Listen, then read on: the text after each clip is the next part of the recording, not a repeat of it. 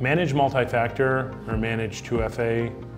is an approach that we take um, to ensure that your multi-factor authentication is operating the way it should.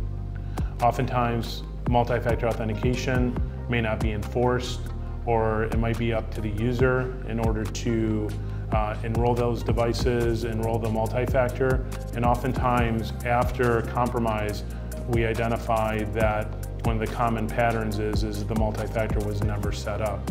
So proactively monitoring the multi-factor and managing the multi-factor through our 24-7 services allows us to truly be in front of that